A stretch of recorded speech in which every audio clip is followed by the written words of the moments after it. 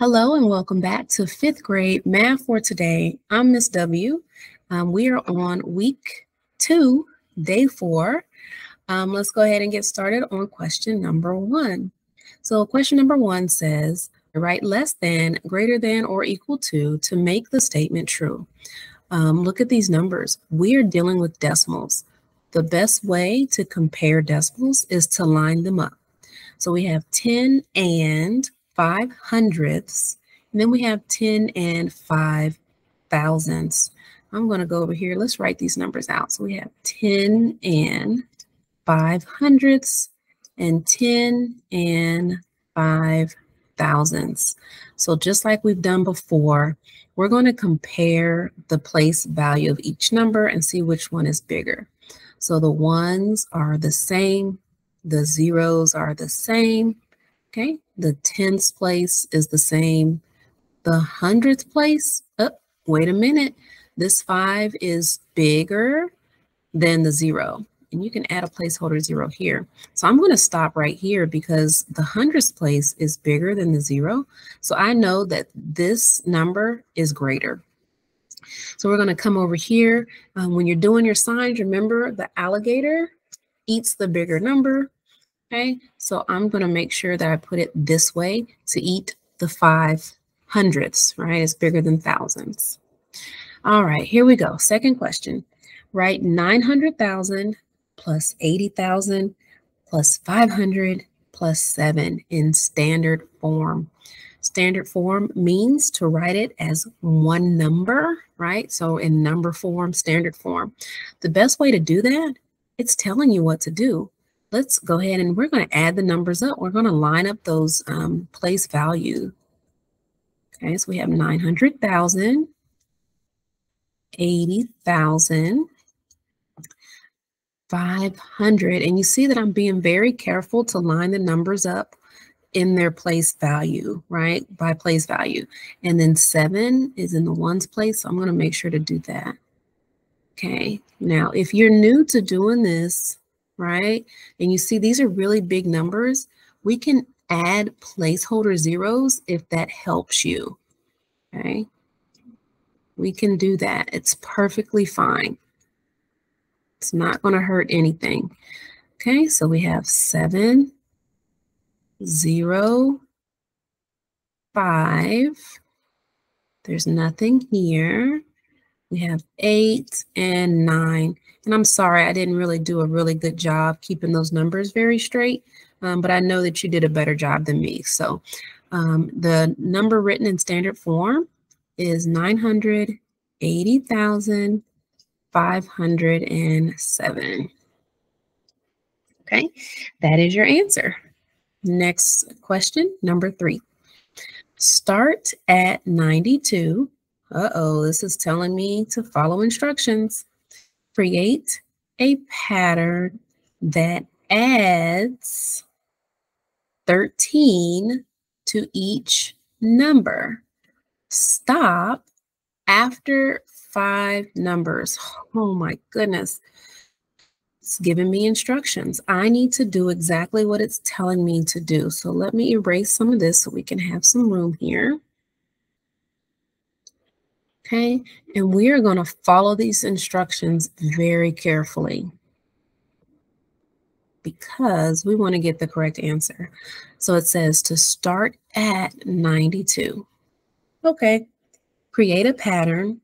It says add 13 okay, to each number. We're going to stop after five numbers. So this would be like my number one. So you could do it this way.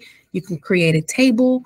You can do it however you want. You can create a number line and you can skip count, whatever you want to do, right? I'm just going to do it this way because I'm a visual person and I like to see everything lined up. So here's my first number. So it's 92, right? My second number is going to be here because I just added 13 and then we're going to stop after five numbers. So 2 plus 3 is 5. 9 plus 1 is 10. You can carry the one, but you're going to just bring it right back down. Okay. So the 92, because it said start at 92. Okay. 92 was my first number.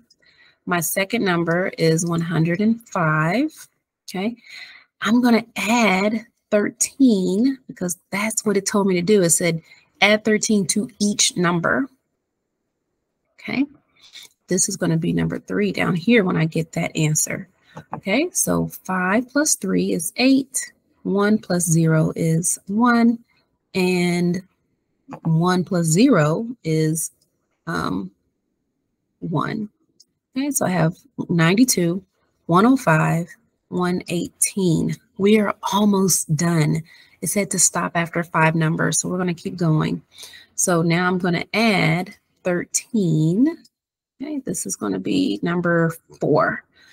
Okay, 8 plus 3, 8, 9, 10, 11, 11, carry the 1, 1, 2, 3, and there's 0, so bring down that 1. Okay, I'm almost done, y'all. This is a lot of work, but it's so worth it to get the correct answer. Okay, we're going to add 13 one more time, and this is going to be my fifth number. So 3 plus 1 is 4. Um, 3 plus 1 again is 4. And 1 plus 0 is 1. Okay, so my fifth number is 144. Oh my goodness, it's a lot of work. So this is your answer. So we have 92, 105, 118, 131, and 144. Oh my goodness. Last question of the day. Let's read it. Emma spent $6.25 for spaghetti and meatballs, $1.12 for a bottle of water, and $3.75 for a piece of cake. Sounds good. How much money did Emma spend on her entire dinner? So that's everything that she paid for. So I need to erase this again. Give me some room. I'll just erase that. All right. And let's write everything out. So we have $6 decimals. We need to line those decimals up. $6.25. Okay, I have 120, sorry, $1.12 and 375. So 1, 12, and 375. We're going to add this up because it wants to know how much she spent all together. So I like to add, there's big numbers. 5 plus 5 is 10, plus that 2 is 12. Carry the 1. 7, 8, 9, 10, 11. Carry the 1. And 6, 7, 8, 9, 10, 11. And bring down my decimal. So this girl spent $11.12 on her entire dinner. All right. Whew, that was a lot of work this week. But you know what? You're getting so much better. And I will see you tomorrow. See you later.